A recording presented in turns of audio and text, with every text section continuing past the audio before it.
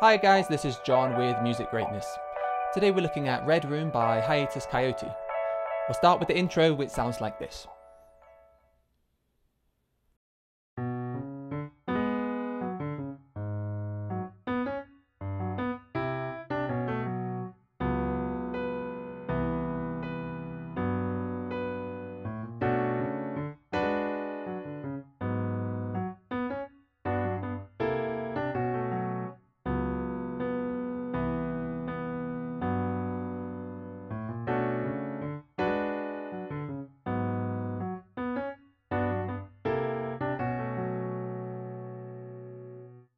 So what you just heard there was the intro to Red Room.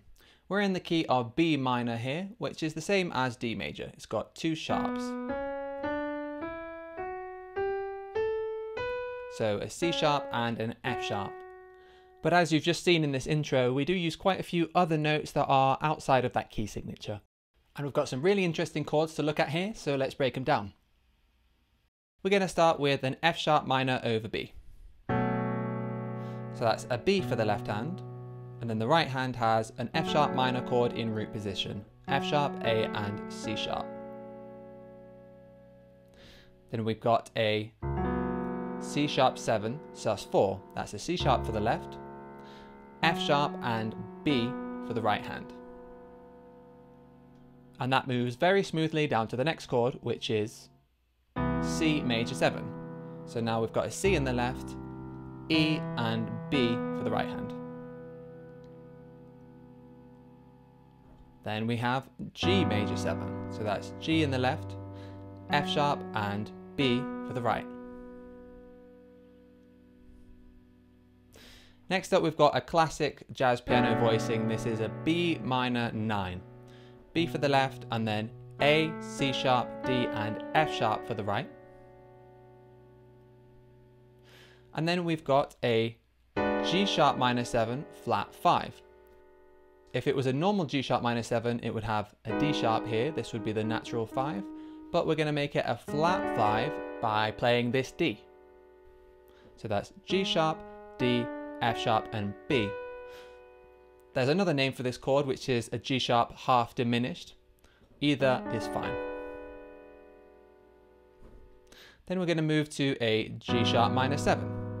That is G sharp in the left hand, F sharp and B. This time there's no fifth in the chord.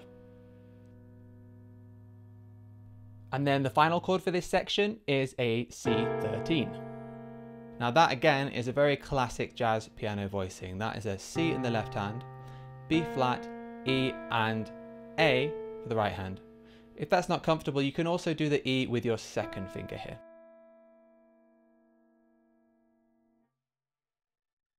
Now, the whole of this song, all the way up until the outro, can be broken up into two different sets of two bar phrases. A type A, which looks like this in the left hand, one, two, and three, four, and one, two, and three, four, and a one. So that's a type A, and a type B looks like this. One, and two, and three, and a four, and one, two, three, four E and our one. Throughout this whole song, we're just going to be going back and forth between type A phrases and type B phrases all the way through until part 5 where we look at the outro. The left hand will almost always just do one of those two bass lines that you've just seen, whereas your right hand will have quite a few interesting variations as it's mimicking Nai Palm's guitar. The peculiar thing about this intro is that we're actually going to start with a type B phrase.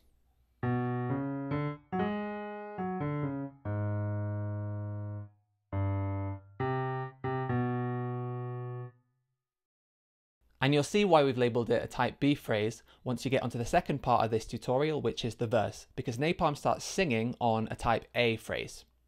So the bass line is broken down like this. We've got a B, C sharp and D, then I'm going to skip this grace note for a second and go straight to a G sharp on the and of beat 2. And then on the and of beat 3 we have F sharp and D and these are 16th notes so that's 3 and a 4 we've got a C sharp on beat four and a G sharp on the end of beat four. So that's one and two and three and uh, four and. And it's really important to get the right fingering from the get-go here, otherwise you run out of fingers quite quickly. So we start on three, and then two on this G sharp, and notice that my thumb is staying underneath here on this D.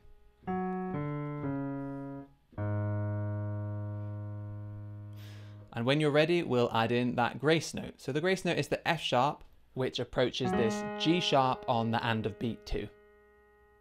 So that'll be one and two and three and uh, four and. And then in the next bar, which is the second bar of the type B phrase, we hold this G sharp from the previous bar on beat one and two. Then on beat three, we have a G. And on beat four, we have a C. And then on the fourth 16th note of beat four, we also have a C. So that whole bar from the end of the previous bar looks like this. And one, two, three, four E and our one. So let's recap the first two bars of the song just in the left hand. One and two and three and uh, four and one, two, three, four E and our one. And now let's add in some right hand here. In the first bar, your right hand has only one note and it comes in on the and of beat two as your left hand plays this grace note. And it's going to be at the same time as the F sharp as opposed to at the same time as the G sharp. So it's not this, rather this. So that's all we have to do for the first bar. And now let's look at this second bar, which is a bit trickier. So we've got an F sharp on the and of beat one, then on beat two, we've got two 16th notes, two E, B and C sharp. And then on beat three, we've got nothing on the downbeat. And then on the second and third 16th note, we've got F sharp and B. So that's three E and A. Three E and A, four. So we've got the E on beat four. And on beat four here, we're doing exactly the same rhythm as the left hand. So four E and A. So that's a D on the fourth 16th note there. And then we've got a C sharp at the beginning of the next bar. So the whole of that second bar looks like this. One and two E and a three E and a four E and a one. Now let's put the two hands together. One and two and three and a four and one and two E and a three E and a four E and a one. Alright, so that's the first type B phrase taken care of. Next we have a type A phrase. Type A phrases always have the bass line that looks like this. One, two, and three, four, and one, two, and three, four, and a one. So we start the first bar of this phrase with a B. Then on the and of beat two, we go down to a C sharp. And of beat four, we're on a C. And now we're into the next bar. We're going to hold this all the way until the and of beat 2, where we play a G. And then on the and of beat 4, we'll use our little finger on an A and walk up with two 16th notes back to a B. And our 1. So with the counting, those two bars in the left hand look like this. 1, 2, and 3, 4, and one, two, and three, four, and a 1. And now let's add in the right hand here. We'll start with this C sharp, which then moves down very quickly to play the other two notes of the F sharp minor chord that you learned in the breakdown. So it'll be C sharp, A, F sharp, 1 E and A. Then in the and of beat 2 with the left hand, you're going to do the upper part of that C sharp 7 sus 4 chord. And then on the and of beat 3, you jump up with your little finger to play a B. And then come back down on the and of beat 4 to play this C major 7. So the whole of that bar looks like this. 1 E and add 2 and 3 and 4 and. And now continuing through to the next bar, we'll carry on with this offbeat rhythm. We'll hold this C major 7 from the end of the previous bar, and then on the and of beat 1 we jump up to a B, then on the and of beat 2 we play a G major 7 that you've already learned, and on the and of beat 3 up to a B again. And then to finish that bar, there's nothing else for the right hand to do. Your left hand will just finish with these two 16th notes on the and of beat 4. So now to recap that whole type A phrase in both hands. 1 E and add 2 and 3 and 4 and 1 and 2 and 3 and 4 and uh, 1. Now we're going to make use of that B minor 9 chord that you learned in the breakdown. So to recap, we started with a type B phrase, and then a type A, and now we're going to do a type B again. And just as before, this type B phrase we'll use this bass line.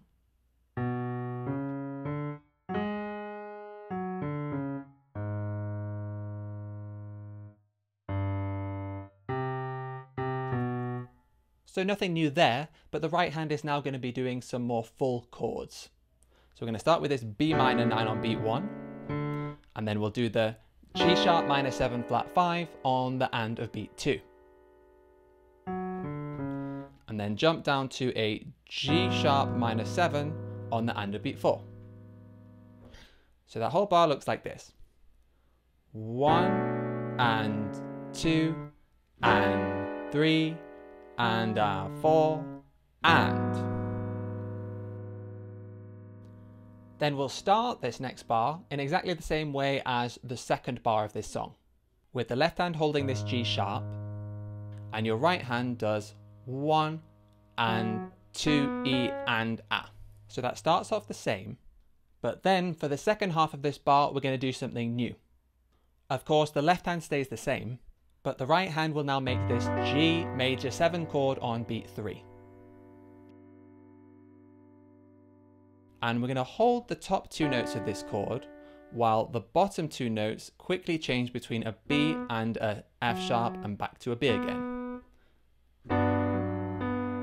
So you see how my upper two notes were held and I just did one E and A, alternating the bottom two notes one E and A. And then we'll jump up to this C13 chord that you've learned. And then we'll finish on the final 16th note of the bar with a D, just like in the second bar of the song. 4 E and A. Now this is quite a strange jump to move down to put my fourth finger on this D, but the reason is because in the next bar, we're going to be playing this F sharp minor over B again. Only this time we've got an F sharp on top as well, so we need all our fingers available to be able to play that.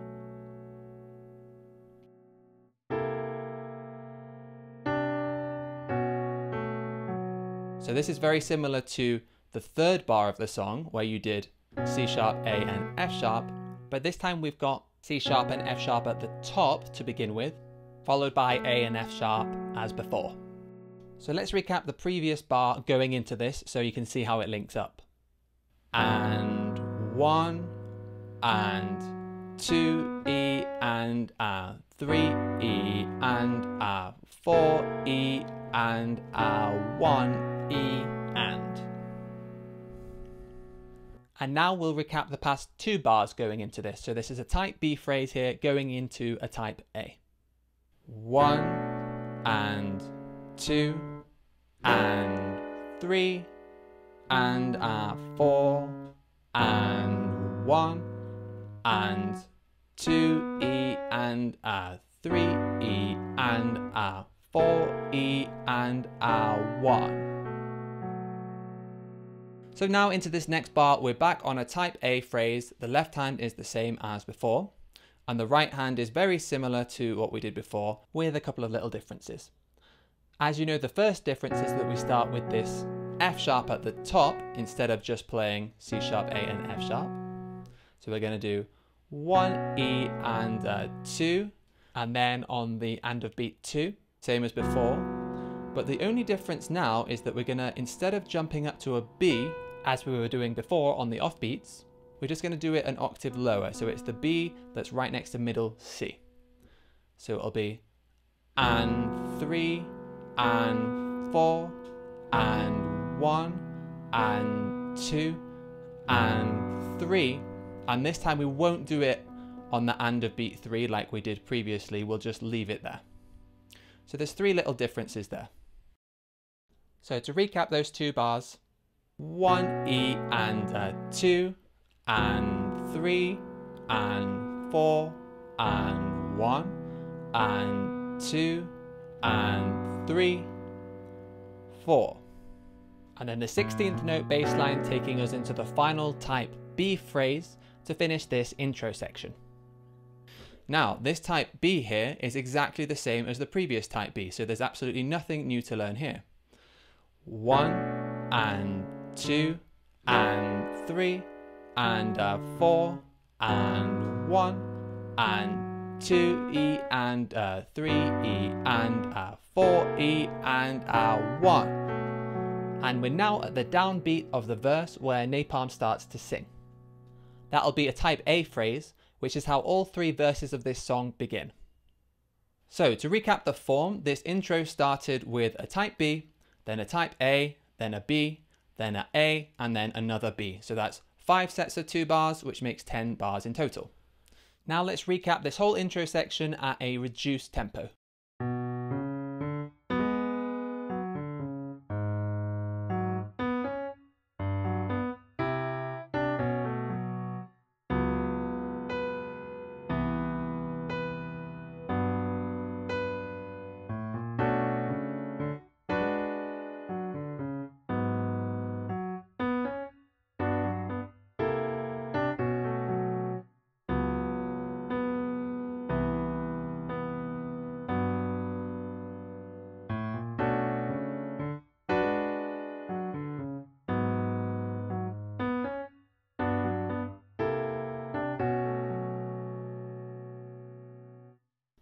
And once that's comfortable, let's then recap the whole thing one more time at full speed.